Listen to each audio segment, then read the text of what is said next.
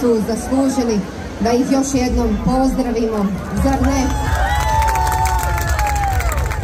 A sada će ovdje na Trgu mladih u Velikoj Kladuši u okviru Kladuškog ljeta 2023 nastupiti kulturno umjetničko društvo Biser. Osnovano je 14. aprila 2006. godine. 17 je uspješnih godina i djelovanja i rada ovog kulturno-umjetničkog društva kako na domaćem, tako i na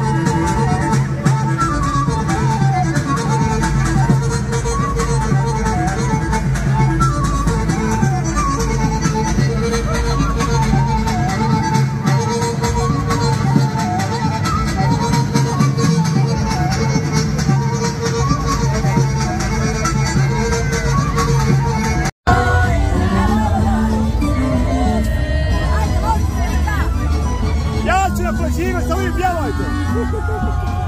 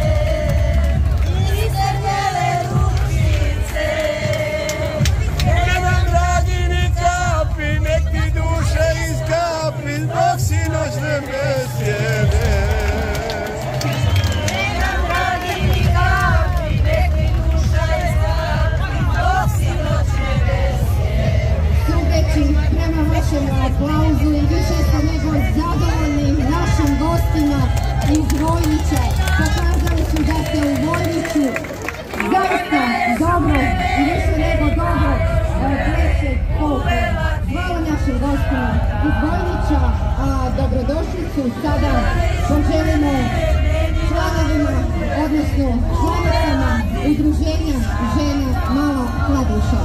Večeras su nam se predstavile na krajškoj sobi, a sada ćemo vidjeti kako to igraju.